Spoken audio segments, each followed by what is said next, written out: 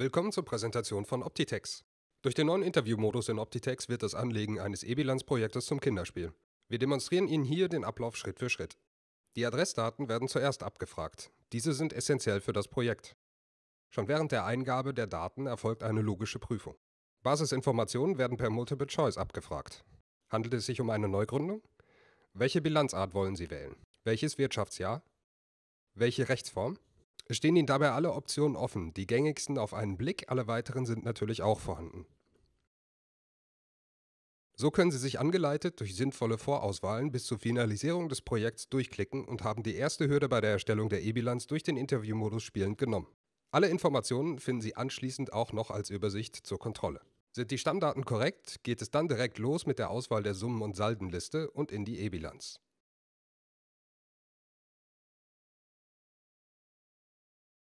Dann entsprechende Spalten auswählen. Fertig.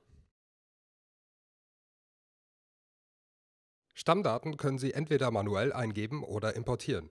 Dazu einfach, wie zu sehen, ein anderes Projekt auswählen, in dem die Stammdaten schon vorhanden sind.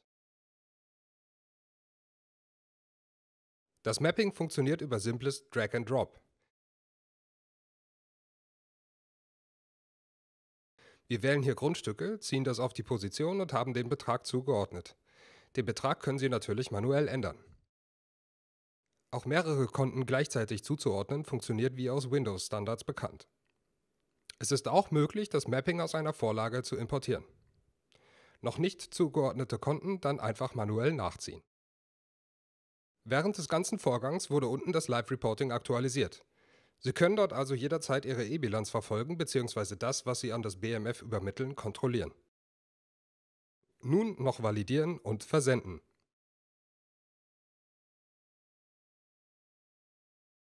Bei einer Fehlermeldung bei der Validierung einfach per Doppelklick zum Fehler springen und korrigieren.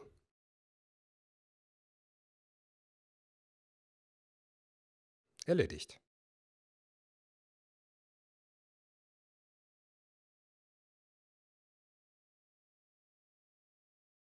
Sie können auch weitere Bestandteile hinzufügen, zum Beispiel eine Überleitungsrechnung. Einfach die einzelnen Positionen entsprechend eintragen.